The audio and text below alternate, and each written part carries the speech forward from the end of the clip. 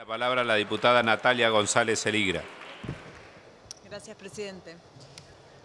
Por supuesto que desde nuestro bloque del PTS en Frente Izquierda vamos a acompañar esta ley, una ley que viene a reparar a Brisa y con ella a los más de 3.000 hijas y hijos que fueron víctimas colaterales de esos femicidios del año 2009. Una reparación parcial, por supuesto, como ya se dijo, no hay reparación válida ante la pérdida de una madre, de una hermana, de una amiga o de una tía. Por eso, esta ley, que es muy importante, también la estamos discutiendo porque antes hubo una diana, es decir, porque hubo un femicidio. Ese último eslabón de una larga cadena de violencia a la mujer que el movimiento de mujeres en las calles ha visibilizado en nuestro país. Y por eso no podemos permitir que haya más mujeres muertas como Diana. No podemos permitir más ese flagelo de la violencia a la mujer y de ese último eslabón que es el femicidio. Entonces, hoy aprobamos esta ley,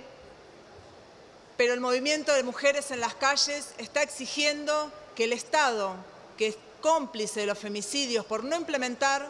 medidas mínimas y elementales para evitar llegar a estos femicidios, y en ese sentido insistimos con un proyecto que hemos presentado en su momento con mi compañero Nicolás del Caño de declarar la emergencia en tema de violencia a las mujeres. Porque tenemos una ley de violencia a las mujeres, pero que no ha dado respuesta a medidas elementales, como es cuando una mujer está amenazada, cuando sufre violencia y en el caso de las mujeres trabajadoras y pobres, no pueden irse de su hogar porque dependen del sustento de sus compañeros,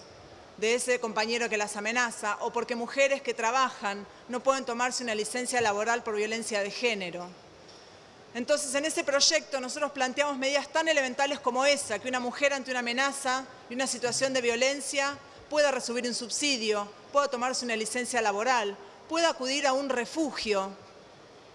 pueda obtener un plan de vivienda por supuesto, en base a impuestos progresivos a las grandes fortunas y a las corporaciones inmobiliarias.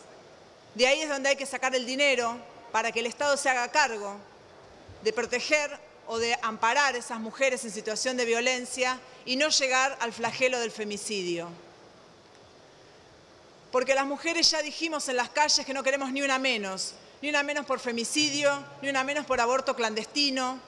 y es por eso que la única garantía de acabar con este flagelo es continuar con esa organización, como se demostró el 13 de junio,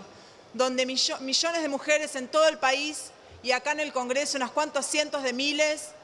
se mantuvieron hasta obtener esa media sanción que por supuesto tenemos que seguir peleando para que sea ley. Entonces, en ese sentido, hoy reparar a las hijas y hijos de víctimas del femicidio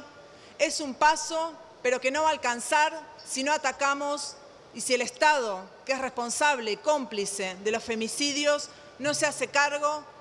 de atender este flagelo para las mujeres. Es por eso que decimos ni una menos, decimos que votamos esta ley, pero que tenemos que avanzar para acabar con la opresión y la violencia a las mujeres con medidas urgentes donde el Estado tiene que atender. Gracias.